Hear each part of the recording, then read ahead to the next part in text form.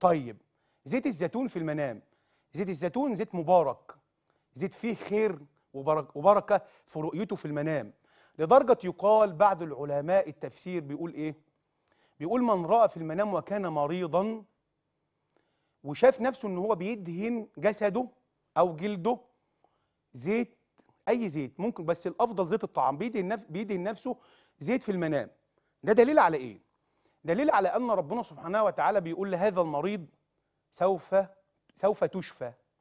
ربنا سبحانه وتعالى هيزيل عنك ما بك من أمراض.